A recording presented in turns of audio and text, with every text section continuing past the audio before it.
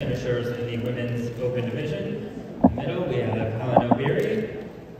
Second place, Amane Beriso, and third place, Lonah Salpeter. So we'll begin with uh, opening remarks from each of you, starting with, with Hellen.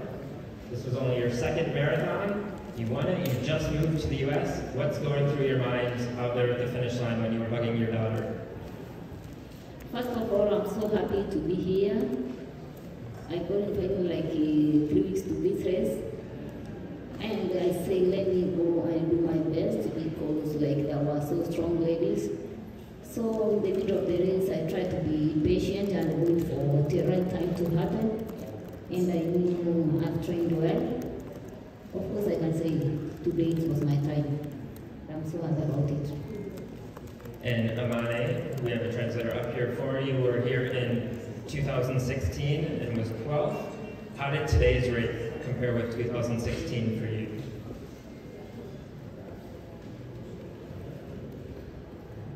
ሁለት ሺ አስራ ስድስት ከአሁኑ ጀምሮ እስካሁን ያለውን እንዴት ተገናጅ ታይዋለሽ? ሁለት ሺ አስራ ስድስት እስካሁን ድረስ የለውጥሽ ሩጫ እንዴት ታገናዝበዋለሽ?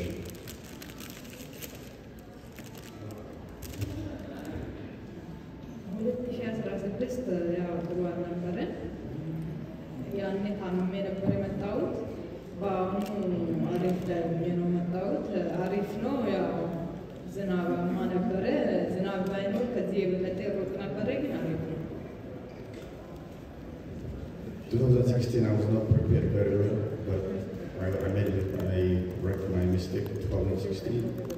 2023 I prepared very well. If there's no rain, I ran very well, but I couldn't do it because of the rain.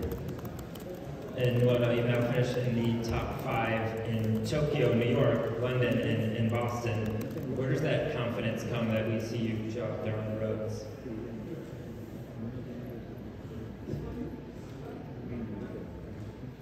You can repeat it again. Where's the confidence that you showed up there and come on the roads for, with all the winners that you're in the top five? Uh, I think for me, my confidence came from New York because always they say New York is tough.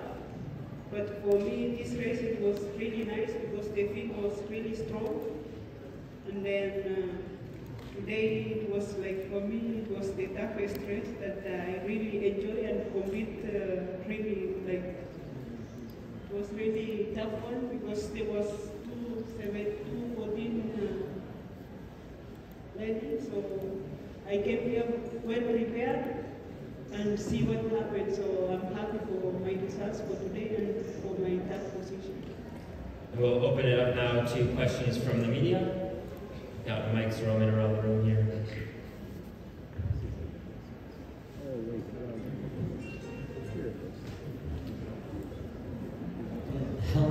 Was your uh, your second uh, major marathon, your first big win, and um, you've made the, the transition from the track to the track now to the marathons. Um, what has been um, what in your training has made you confident going into this marathon that you could uh, come away with this win, and how has the transition from more of the track to the marathon?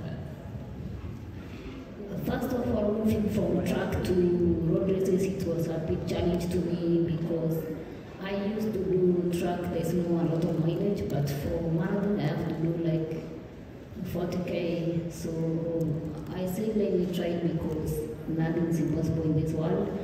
So I thought maybe I can do my first debut in New York, but it never went the way we planned. And when I got like I have to do Boston, so I decided maybe I have to prepare well because I've been in Boulder for three weeks preparing for this race. And I knew Boston Marathon is a tough course, but you know sometimes it was an open field because there's no pacemakers, there's nobody wanted to go in front. So I decided maybe can I just try, try and do something well and I knew I was my training was been going on well, so I was well prepared for this race. Mm. Hey, Hellen. Uh, Edgar from Traximo. I know recently you have recently joined the OAC group in Boulder.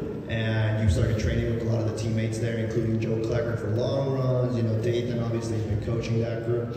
How has that transition sort of been? You know, training uh, back home as opposed to here in the U.S. with such a new but very talented group. Was good moving to Boulder uh, because in Kenya I never used to have coaching ground to see what I'm doing. But for Boulder, I have a I've coach there, training mates, and I have so many ladies there trying to help me. I have some bosses there trying to help me, coaches there seeing what I'm doing. And for everything I need there, I have it. So it was a great opportunity for me to join OAC team there. What direction came first? So these people.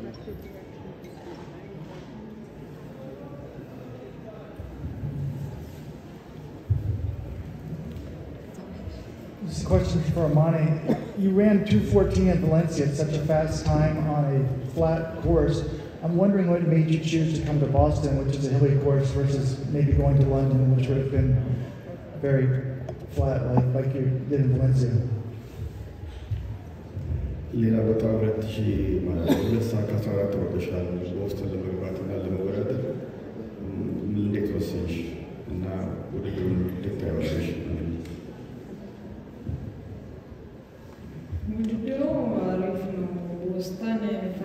ነው መጣሁት። ያው ዝናባውን አሪፍ ሮጥ ነበር።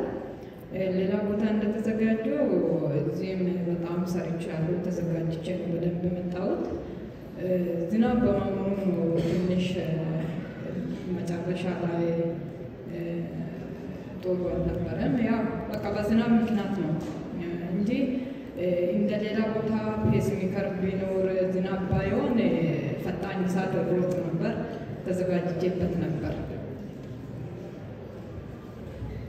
There's no pacemaker in Boston, but I, I, I run very good race. I prepared very well also. If there's no rain, I could do more faster than what I expect.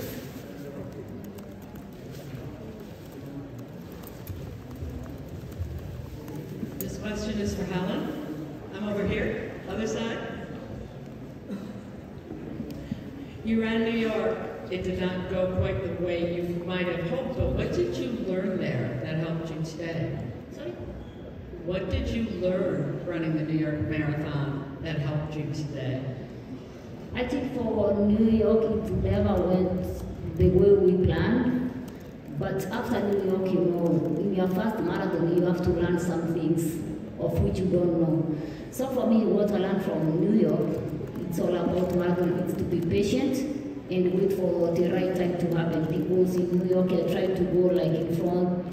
I I tried to act like a pacemaker, but for here, I tried like, can I stay behind and watch the other is what I'm doing. So what helped me here is to be patient and wait the right time to happen.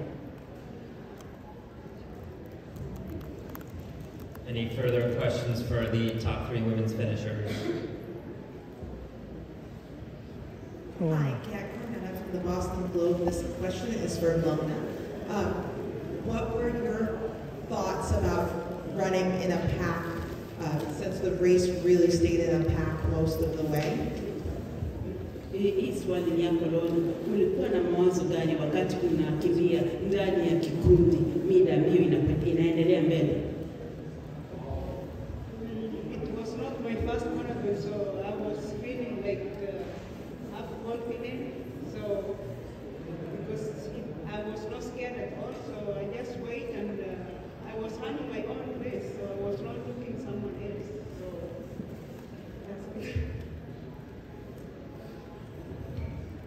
Uh, Hellen, you you learned about being patient in your first marathon. I assume by now you've heard that in the men's race, Eliud Kipchoge, the, the greatest marathoner ever, was not patient. He was leading the race from the beginning and, and then finished, I think, uh, sixth place. Uh, how surprised are you that he lost and that he was pushing the pace the whole time? Okay, what I've come to run in a marathon, it's like where there's no pacemakers, anything can happen, and it's a marathon, it's a long, long journey, you can't predict on the way. You can jump this like 42k and your body cannot even move. So in a marathon, anything can happen, and it was like a strong field, and anybody was there to win the race. You know, when you come to race, you are prepared to win. You are not coming to the race to lose the race. So everybody was well prepared for this race. Yeah. I think we have time for one final question if there is one. We will go ahead and wrap up. Congrats.